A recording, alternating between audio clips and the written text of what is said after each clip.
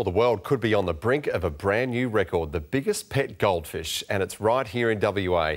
Goldie is a whopping 50 centimetres long and will be officially measured to see if he breaks the record.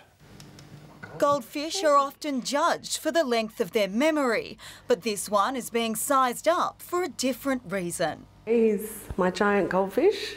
He's uh, he was this small when I bought him. Six-year-old Goldie measures about 50 centimetres long and has outgrown three fish tanks. One more swim.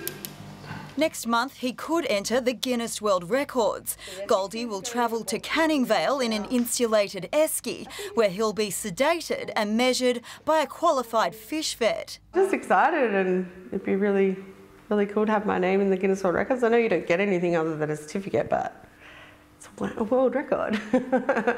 He has to be longer than the current record of 47 centimetres to win. This would be the weirdest fish thing that anyone's ever asked me to do. Um, I have done surgeries, um, taken blood from sharks, but nothing quite beats the beating of the world record. And if he doesn't win, well, this giant goldfish even sulks. If he's in a grumpy mood, he'll just sit in the corner. Hannah Sinclair, 9 News.